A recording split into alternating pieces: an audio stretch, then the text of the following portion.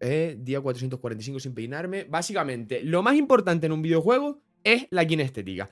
¿Qué es la kinestética? Muy sencillo, La kinestética es la forma que tiene el juego de representar todas las acciones que hace el personaje que tú controlas. Es decir, cómo se mueve, cómo salta, corre, dispara, eh, conduce, trepa, cómo se relaciona con el escenario, absolutamente todo. Y esto es lo más importante porque tú en un videojuego estás jugando. Entonces, eso es como la sensación al jugar. La sensación que tiene el jugador cuando está controlando a la persona que tiene que controlar. Es decir, cómo tú te sientes al jugar. Y repito, esto para mí es lo más importante en un videojuego porque en un videojuego juegas. ¿Vale? si para mí lo más importante en un videojuego no fuese jugar, pues directamente no jugaría el juego, me lo vería por YouTube o directamente me iría a ver una película, una serie lo que fuese. Evidentemente que esto es lo más importante no quiere decir que todo lo demás no importe. En un videojuego de modo historia, pues evidentemente importa la historia, los personajes, el mensaje, eh, el contexto del mundo, la creación del mundo, la banda sonora, súper importante. En un juego competitivo que no de historia, también importa un montón de cosas. Eh, yo qué sé, la duración de las partidas, la recompensa, eh, que todo esté balanceado y no haya cosas muy rotas. Importan muchas cosas, pero lo más importante en un videojuego para mí es la kinestética, es la sensación al jugar. ¿Vale? ¿Cómo sé yo que un videojuego tiene una muy buena kinestética, una muy buena jugabilidad, una muy buena sensación al jugar? Básicamente son todos esos videojuegos en los que yo entro y sin ningún tipo de motivo yo me pongo a, hacer cosas con el personaje, ¿vale? A moverme, aunque sea. O entro al Rocket League, me meto en el Free Training, ¿vale? Y... Free Training entrenamiento, ¿no? ¿En qué voy? ¿De anglosajón ahora o qué? Me meto en entrenamiento y me pongo a dar vueltas con el coche solo porque mola dar vueltas con el coche. Eso para mí quiere decir que la kinestética está bien hecha. Entonces yo lo que quiero conseguir en este vídeo es decir, como una lista de juegos que eh, yo mm, adoro, meterme en esos juegos y sencillamente eh, ponerme a moverme, porque la kinestética está tan bien hecha que mola muchísimo para que eh, ustedes lo jueguen. Básicamente en este vídeo también yo pido un poquito de confianza en mí porque claro, si yo te digo, este videojuego tiene unos gráficos de la super mega polla y yo te enseño ese videojuego, tú vas a decir, hostia, tienes razón, qué gráfico más bueno. Pero claro, si yo te digo, este videojuego mola mucho correr por el mapa, no hay forma física de que tú, si no experimentas eso de correr por el mapa en ese videojuego, sepas que yo te estoy diciendo la verdad. Entonces tienes que confiar un poco en mí. Que nada, que yo te digo un juego que está guapísimo de kinestética, vas, lo compras o se lo pides a tu colega al amigo, te lo descargas, lo pruebas y es una pedazo de mierda, puedes venir aquí y cagarte en toda mi familia muy, muy, muy a gusto, no pasa nada. Y si alguien eh, quiere en los comentarios, y con alguien me refiero a Kirbex y a Adri, que son los dos únicos que comentan siempre en mis vídeos, siempre en mi barco, chicos. Eso, en los comentarios alguien quiere decir, mira, pues se te olvidó este juego que mola muchísimo estar dando saltos como un loco por ahí en este videojuego, tal, te, dígamelo de puta madre, mejor, así yo descubro juegos porque me flipa, me flipa la kinestética, el, el movimiento, así que nada, sin enrollarnos más, vamos a, con la lista, cojones. Bueno, el primero estaba clarísimo, ¿vale? Creo que va a estar hasta en miniatura, no sé qué va a ser de miniatura, cállate. El primero es el Spearman que acaba de salir, el 2, ¿vale? El 1, el, de 2018 creo que salió, ya el movimiento era una puta gozada. Tú te cogías a Spiderman y te ponías a dar vueltas por la ciudad balanceándote sin utilizar el viaje rápido. Vale, esa es otra. Eh, una buena forma de decir, hostia, este juego mola la kinestética es que te pongan un viaje rápido que la opción de que, puedas hacer viaje rápido, que yo creo que debería estar en todos los juegos de mundo abierto, ¿vale? Porque es facilitarle cosas al usuario. Pero si tu videojuego está lo suficientemente bien hecho, para mí tienes que hacer que el jugador no quiera utilizar el viaje rápido. Eso quiere decir que tu movimiento en tu juego, el simple hecho de desplazarse, está guapísimo, está súper bien hecho. Porque si me das la opción de eh, ahorrarme tiempo de ir un punto A a un punto B y no me da la gana y voy eh, aprovechando el balanceo o con un coche o lo que sea, es que quiere decir que el movimiento en tu juego está de putísima madre. Entonces, en el Spider-Man 1 ya pasaba, pues en el Spider-Man 2 pasa eh, el triple. O sea, es exactamente el mismo movimiento que en el 1. Balancearse está guapísimo, pero tienes más opciones para balancearte y lo haces más rápido. Evidentemente, va a estar bien. Si en el 1 ya está bien, pues en el 2 es una gozada. Y eso que yo eh, todavía voy por la mitad del juego, o incluso menos, y no tengo todas las opciones de balanceo desbloqueadas. Pero ya, eh, no sé, con 5 o 6 horas que he jugado, ya me he dado vueltas por la ciudad 40 veces solo balanceándome, así que está guapísimo. Vale, seguimos con los juegos de mundo abierto. el Sunset Overdrive, o Sunset Overdrive, o me da pena cómo se pronuncia. es Sunset, evidentemente. El rollo es ese, que esto es un juego que salió eh, para Xbox, no me acuerdo qué año, 2013, 14, creo que salió de salida con eh, la Xbox One. Eh, la de Juan, ¿vale? Un colega mío que tiene una Xbox y se lo sacaron a él de salida, ¿vale? Porque le gustaba mucho. básicamente después se dejó de ser exclusivo yo lo juego en PC y me encanta. Es un juego que encima el estilo artístico está guapísimo, la historia está guay, es de Insomnia también como el Spearman, así que tiene 250 millones de armas súper estúpidas que está súper divertido usar. El juego rompe la cuarta pared continuamente, perdón que no sé hablar, está de loco. Y lo mejor que tiene, evidentemente, es el movimiento. Tú vas deslizándote por los cables de tensión de la ciudad todo el rato, metiendo unos saltos que son imposibles, rebotas en los coches, te enganchas a vete tú a saber qué puta mierda. El juego no te explica en ningún momento por qué te enganchas ni por qué te deslizas, porque no es necesario explicarlo. Me encanta. Y te vas deslizando eso. Y encima es un mapa, eso, es un mundo abierto en el que recoger 250 coleccionables de mierda que no importan a nadie que lo vas a recoger solo porque mola ir a por los coleccionables. Y ya está. Jualo, está guapísimo.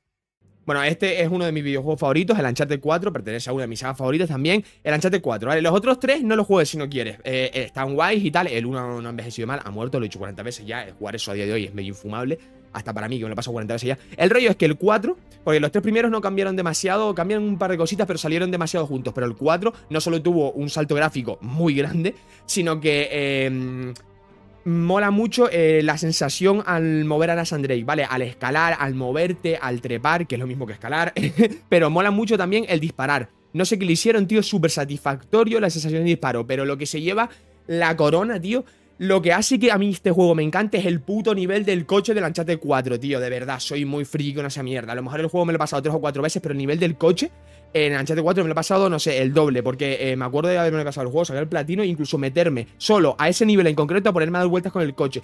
El coche se siente súper bien, se desliza súper bien, interactúa con el escenario de locos, eh, siempre... Esto, mm, cuando lo jugué en directo hace poco, eh, Eso era, se me, decían todos los chicos, eh, estuve ahí media puta hora eh, entrando y saliendo del coche con Nathan Drake solo porque tiene 200 animaciones de entrada y salida al juego, o sea, al juego, al coche, está guapísimo y eso, eh, me quedé dando vueltas media hora con el coche. Si no te quieres jugar al Uncharted 4, no, es que no, no hay opción, jugátelo, y cállate la boca, tío, llega hasta el nivel del coche, al nivel del coche y te a jugar el juego. ¿Te imaginas? Es súper absurdo, ¿sabes? No sé lo que estoy diciendo. Mira, los Ori, ¿vale? El Ori 1 y el Ori 2. Creo que era eh, Ori and the Blind Forest y el 2 es Will of the Wish, ¿vale? Estos son eh, un Metroidvania en 2D, creo lateral, super mega ultra hiper preciosos a nivel visual. Y el 1 está bien, el 1 está guay. Tú lo juegas y dices, tío, cómo mola el movimiento. El 2 es 55 eh, veces mejor, ¿vale? Es una salvajada. O sea, si el 1 ya te movías y estaba guapo y todo el rollo, yo siempre que he jugado al 1, me lo he pasado varias veces, siempre que he jugado al 1 lo que hago es ahorrar la mayor cantidad de puntos posible para desbloquear el triple salto, porque es súper satisfactorio el triple salto.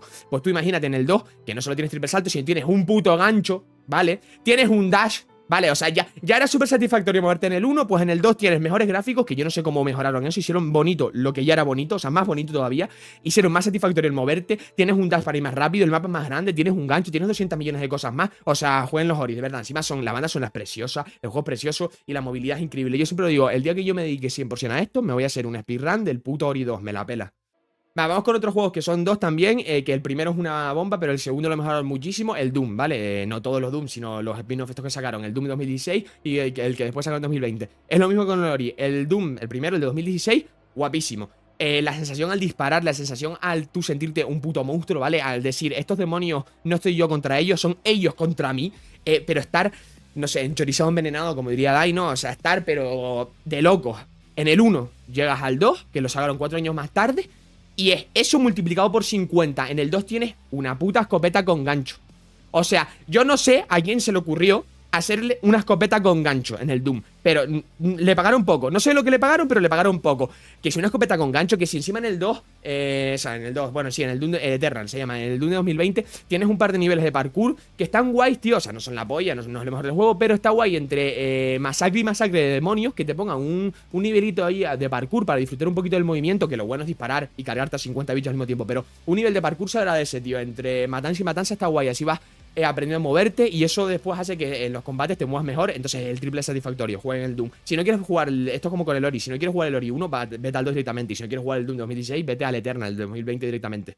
Esto no sé para qué lo meto en la lista. Todo el mundo lo ha jugado. GTA 5, ¿vale? Salió hace 10 años, lo ha jugado hasta tu abuela. Eh, salió hace 10 años y sigue siendo satisfactorio moverte con el coche por el puto mapa y conducir, así que nunca es tarde para meterte ahora mismo, mientras estás viendo este vídeo, GTA 5 y te pones a dar un par de vueltas con el coche, ya está, está demasiado bien hecho. El caminar normal no, el caminar normal es una mierda, sobre todo por interiores. O sea, tú, estás caminando con Trevor dentro de una casa y te comes 45 paredes, pero con el coche, vos, vos yo me acuerdo cuando te ponían la típica misión a tomar por culo para arriba, que tú estabas en la casa de Michael y tenías que ir a la de Trevor, ahí 10 kilómetros de mapa, me la pela. Te pones los hilos FM, porque no he escuchado otra emisora de radio en, no sé, las 200 horas, 200 no tengo más horas al puto GTA 5. Tengo el platino, chicos, no sé si lo sabían. Vamos al siguiente juego, que me estoy enrollando ya. Pues yo creo que el vídeo se me está alargando un poco demasiado, pero eh, yo creo que antes de irnos tenemos que mencionar al mejor sistema a melee que se ha hecho nunca en un videojuego, el Sekiro, ¿vale? Y mira qué sencillo. O sea, es, eh, son tres botones, atacar, esquivar y bloquear. Y el de esquivar casi que no utilizas porque estás en Sekiro, vas a ser parry a todo, pero es el mejor sistema de combate melee que yo he visto nunca en mi vida, no tiene puto sentido. No, pero es que lo jugué una vez. No, pero lo jugué una vez, la tierra es plana, lo jugué una vez y, y le metí 10 horas y me reventaron, el juego es una mierda. Date otra oportunidad, por favor. Cuando, cuando de verdad conectas con el sistema de combate de Sekiro, no hay mejor sistema de combate a melee. Nunca. Yo, yo por lo menos no lo he visto. Y si alguien lo ha visto, que me lo ponga en los comentarios porque me meto ese juego hasta por el culo, básicamente.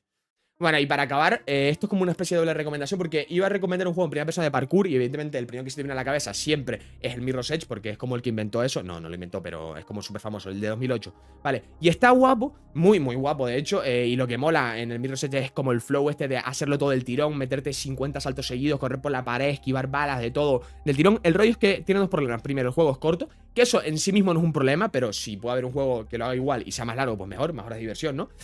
Y el segundo, que si es un problema de verdad, es que el juego eh, tiene niveles de disparo que son una pedazo de mierda y están horriblemente mal hechos. Es en plan, mira, el juego mola ya el parkour. Podías haberme hecho un juego de parkour solo, no tienes que meter disparos obligatoriamente. Pero bueno, en vez del Mirror's Edge, que también lo puedo jugar, que está a 4 duros por ahí, eh, juégate al puto Dying Light, ¿vale? Que es un juego eh, en primera persona de parkour con zombies. Está guapísimo. O sea, ya el parkour solo de por sí está increíble. El combate cuerpo a cuerpo con los zombies está bien, es un buen añadido. Pero el Dying Light tiene una cosa que a mí me encanta, tío. Es que tú estás a lo mejor en la primera mitad del juego, no sé cuántas horas le has metido, 10 a lo mejor o 15.